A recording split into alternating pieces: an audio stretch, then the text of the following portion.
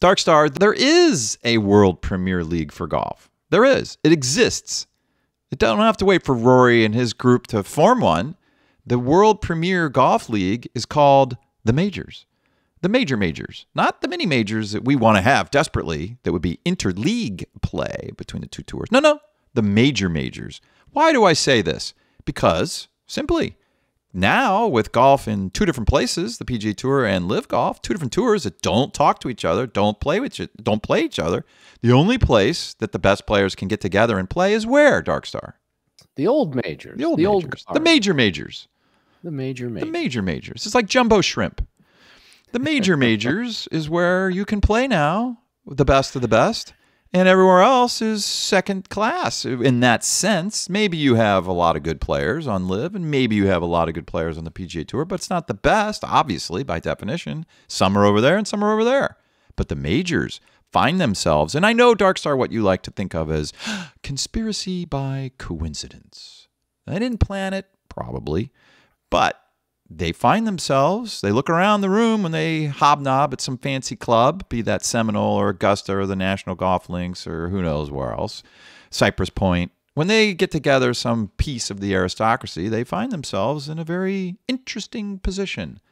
Hey, well, they find themselves in a very advantageous position. That too. They're, they're too. kicking back and they're watching the PGA Tour and LIV Golf to a lesser degree. Uh, they, they're cannibalizing themselves, and the majors are the only place where the stars are all together. The stars are all aligned. When you think about it, Augusta, nobody's ever complained about the Augusta field, even though it is such a shortened, truncated field versus the other majors because the stars are all there.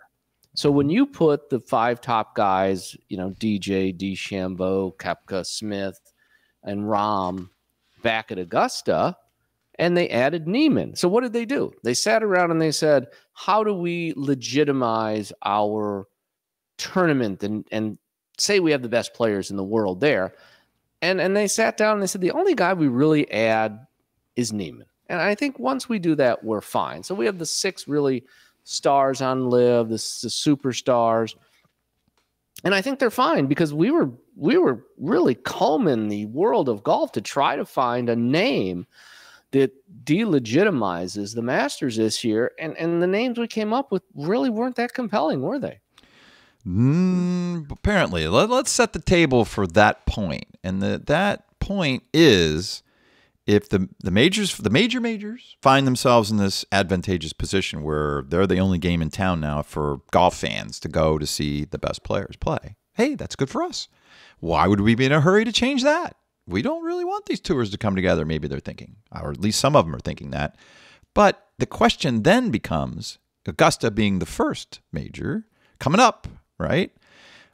Did they do it on purpose, where they scoured the world, as Darkstar just said, to find out if anybody that needs to be there needs an invitation because they're not otherwise exempt into the tournament. Now, happily for the Masters, the top brand name players over at uh, LIV are already exempt because they're major winners and they're there already.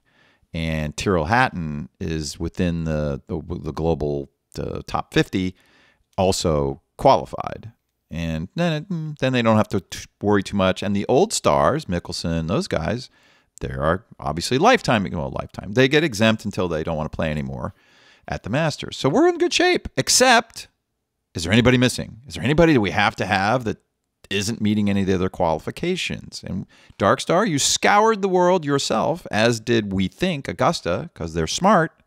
And lo and behold, what name came up? Sure, Joaquin Niemann received an invitation. They sat down for 30 seconds. It was one of those, you know, five minutes for coffee. The first four were for coffee, and it was a five minute meeting. Yeah, let's just we'll, we'll call Niemann, and then uh, we're done. You're giving them you're giving them a lot of credit at Augusta, and maybe they deserve it. There must have been some internal. I don't want to. Let, let's not say debate. Let's say dialogue. Although it could have been a heated debate. Who knows? But you, I can imagine some old guard at Augusta saying something like, "Screw them." If you're not qualified because you bolted the PGA Tour, you haven't won there, you bolted the OWGR events, so you don't have enough points, too bad for you. And uh, there's got to be a few, or more than a few, members at Augusta that think that. But then Well, cooler heads I don't- prevailed. Right. Uh, I- I Or did something so. else What I- happen? Did they conjure up the ghost of Bobby Jones and say, "What would Bobby Jones do?" That's what I would do if I were Fred Ridley. I think, I think that's how they all are sitting there. That's why I, do, I not think there was a heated discussion. They are in the catbird seat. They're they're watching the other two tours, you know, especially the PGA Tour, just self destruct in front of our eyes, and they're just sitting there going, you know, we're in a good position until and through 26 because that's when DJ and DeChambeau's um, exemption runs out. So they're in a good position for another couple years just to sit back and see what happens. So no, I don't think there was a, a heated discussion. We put in Niemann this year. We might have to put in somebody next year. Uh, you but think everybody at Augusta just went along with that? The guy's not qualified. He's not getting OWGR points. What would? Why would we invite him? because he's playing so well and he's a young hot player. Yeah, but And we- he's not qualified. it- he's not qualified by our qualification standards. You can imagine some of these old guard guys saying that. You're saying, I don't agree with you, but you're saying that they all were singing from the same songbook at Augusta. I am saying they're doing that because they are just sitting back. That's not the question. The question is, do they agree on it? Do all the guys there agree on it? I, I think the vast majority do. So it was a no-brainer. Uh, I think uh, my suspicion is that there was more dialogue than that.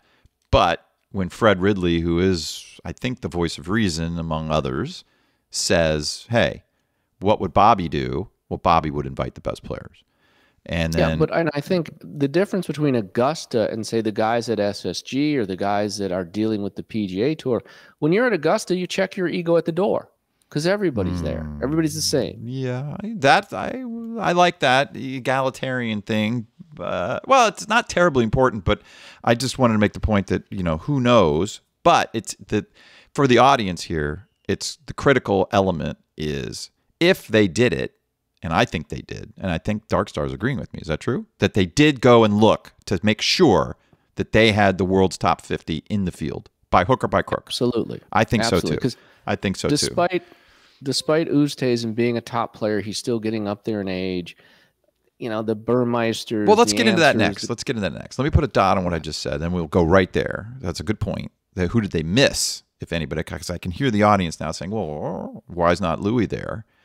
Yeah, that's a legit question, and then we'll talk about why that is. If you're a fan of the show, be sure to subscribe to our new audio podcast. That is where you will get topics that'll never get to YouTube. And there are a lot of those that we like to talk about that'll never make it to YouTube. So uh, look in the description below for the link over to Substack. That's where you can subscribe to the podcast. And thank you again for being a fan.